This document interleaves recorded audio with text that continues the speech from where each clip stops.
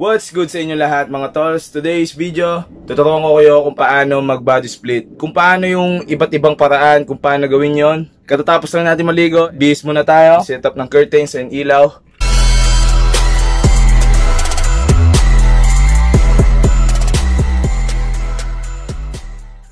So, yun na nga, nakabihis na tayo. Set up na lang natin yung kutina sa likod. Let's do it! Skirt! I have a mother effing problem. Wala tayong ah tawag dito. Thumbtacks sa tuso ko doon sa kahoy. Yung kutina. Kaso wala akong mahanap kasi gamit ng putol ko. At ayun na nga no mga tolls, meron na tayong nabiling thumbtacks at nakabit na natin yan. Pero, alam nyo ba na kahapon pa yung intro ko? kasi wala akong mahanapan dito banda sa amin. Pero, bago ang lahat, magsisimula na tayo. Para mas klaro, ituturo ko sa inyo yung step by step talaga. And magsisimula tayo sa lip kung yung gumaganon. Ayos ko na yung camera. And then, let's go. By the way, dun sa nagsabi na ibalik ko yung tong curtains para mas makita daw yung bilog. Salamat sa'yo. Use natin, pastry vapor and drink ko. Tignan nyo yung build ko. Yan. Ibig sabihin, di na ako masyado nagbe-vape. And hindi na rin ako pa-practice masyado, di na ako nakapag-post sa Instagram. Pero it's all good. Siguro by next week, balik na ulit ako Instagram. And kung tatanungin niyo yung build ko dito, wag na siguro kasi team Bornal na yan, no? Ayun, no? So, yan, wala nang kwenta. And, yan lang. So, tatanggalin na natin tong maliit na tip para medyo malaki yung may higop na usok. Testing, testing. Mas okay pag maliit yung tip. Sanay ako.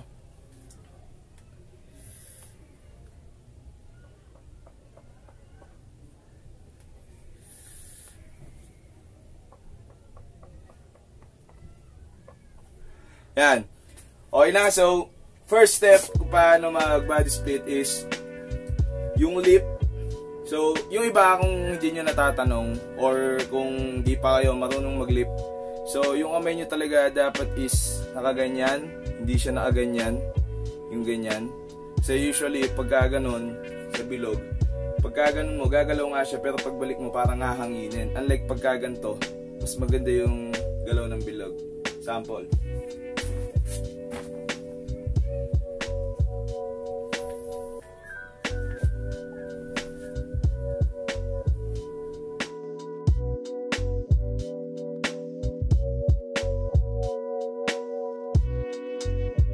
Di ba? So, dun pa lang, nahati na natin yung bilog. What more pa kaya kung gagamitan na natin ng katawan or yung banda dito.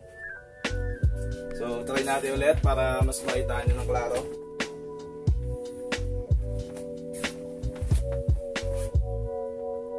Ganon, di ba? Ganon. Hindi ganon. Tingnan nyo to, pagka ganon yung ginawa ko.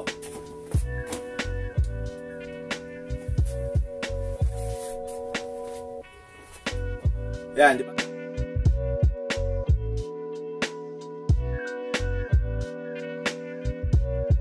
Di ba?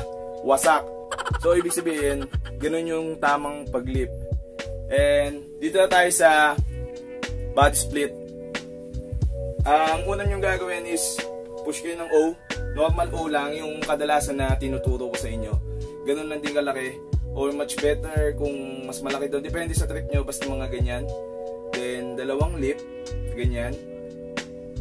Tapos, yung unang lip pala, isa. Tapos, pagka pangalawa, tutulak nyo ng banda dito sa baba ng chest. Try natin.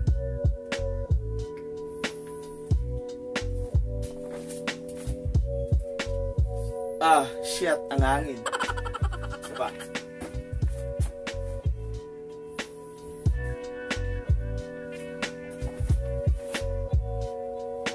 Ah, shit. Urong na natin yung camera para makabuelo ako. Mas may kita nyo ako.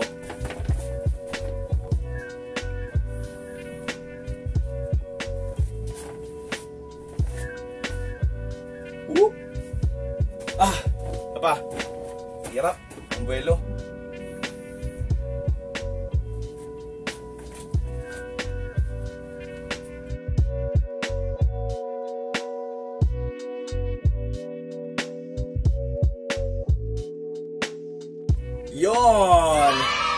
So, kung nakita nyo, pagka una kong ganon, biglang belo na agad na pa ganon yung sa pangalawa. Then, urong kayo. Pagka ganyan, di ba? One, two, sabay urong. Second try. Ay, maraming try na pala. Siguro panlima na.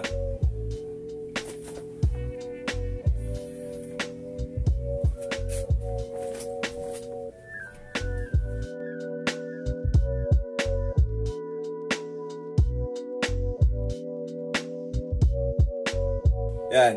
Pwedeng muka. Pwedeng muka. Pwede rin dito. Depende sa trip mo. Yon, ayun yung unang way paano mag body split. So second step, second way kung paano mag body split is pwede nyo gamitin yung yung mukha nyo din. Pero ibang paraan siya. So papakita nyo. Papakita ko.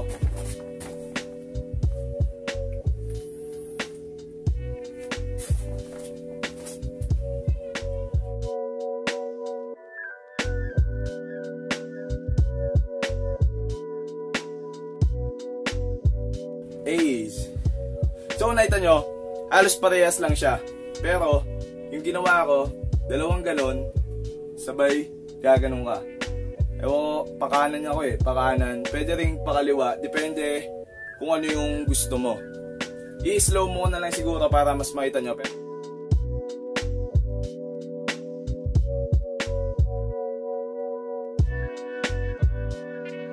Second try nyo, para makita nyo kung paano ginagawa.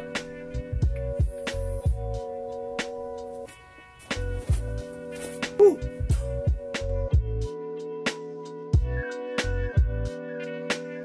Palpak.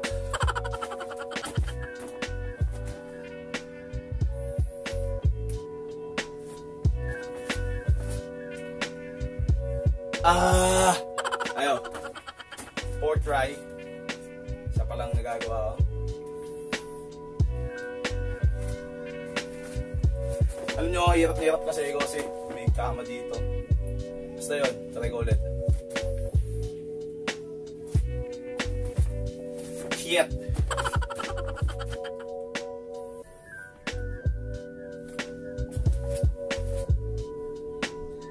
Ah! Hold up. Direct muna tayong juice. By the way, kung gusto nyo ng malinis na ganon, dapat, yun nga, consistent yung bilog. Dapat, dire-diretso siya at pulido yung pagkaagawa ng bilog nyo. Sa akin kasi, kaya ko naman siya actually, kaya ko siya ulit-ulitin ng tama. Ang problema lang sa buwelo dahil masikip nandito sa kwarto.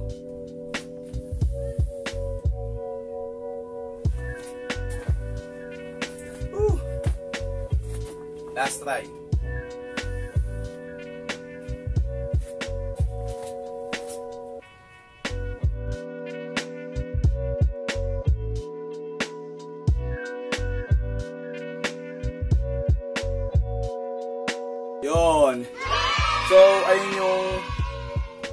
Pangalawang paraan kung paano ako magbabody split. And sa pangatlo, di siya, ewan ko, lip lang yung gagamitin mo. Wala nang katawan or ano, lip lang. Yung nakita nyo kanina sa bandang unahan ng video, ganun yung gagawin natin. Ang pinagkaiba lang nun is, yan, dapat nandito yung bilog, banda sa harapan mo. Then, pagka ganun mo, isa, isa, dalawa, parang ihilain mo yung, ihilain mo gamit yung dito mo, sa ganito mo. Dito. So, try natin.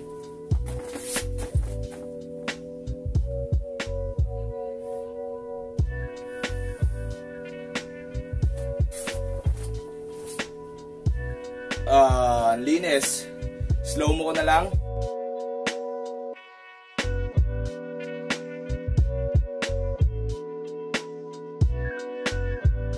Lang, ayun yung three part na, ang three part na, at three ways kung paano mag body split. Ewan ko kung body split tawag doon sa iba, pero Sana may matutunan kayo.